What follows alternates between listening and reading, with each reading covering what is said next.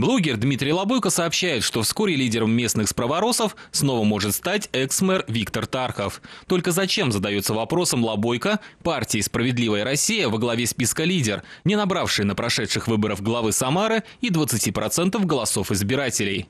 А вот самого героя, заключает автор поста, можно понять. Тархову очень нужна депутатская неприкосновенность. Без нее будущее бывшего главы города может оказаться непредсказуемым. Блогер HVV предлагает воспользоваться опытом сочинского парка «Ривьера» по установке бесплатных уличных тренажеров.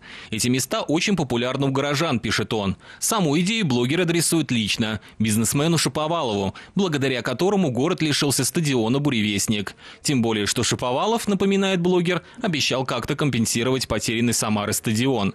А это как раз один из недорогих и достаточно полезных методов компенсации. И, наконец, блогер Денис Картунов предлагает всем желающим поучаствовать в ролевой игре «Ямка в Самаре», которая будет идти всю следующую неделю. Свою лепту в составлении своеобразной карты города с упоминанием самых разбитых участков дорог может внести каждый. Для этого достаточно сфотографировать яму на проезжей части и разместить фото в комментариях к посту игры с указанием места.